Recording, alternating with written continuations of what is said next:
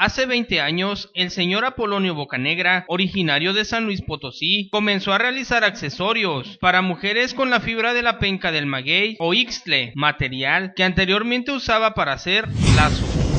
Es unos 20 años, 20 años más o menos es lo que tenemos de trabajar este material.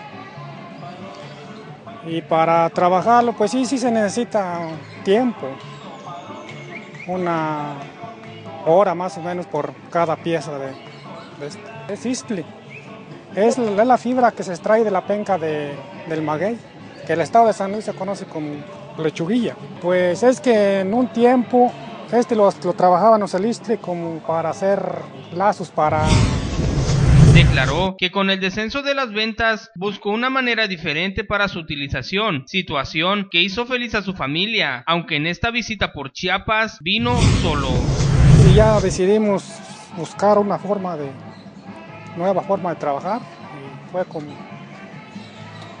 encontramos esta artesanía. San Luis Potosí, no, pues están felices por el trabajo que hacemos. Solo, sí, en solo. Sí, lo aceptan bien, sí les gusta. Sí, sí, les gusta muy bien el trabajo, la artesanía.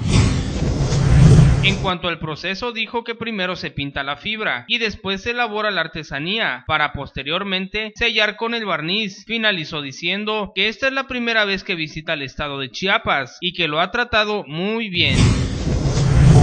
Lo pintamos y para que la pintura no se de color y lo sellamos con barniz para que la, la pintura se siga conservando. Sí.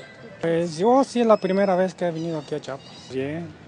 Sí, sí, me tratan bien. Que venga la gente a invitar aquí a ver mi artesanía y si les gusta, pues la compro. Noticias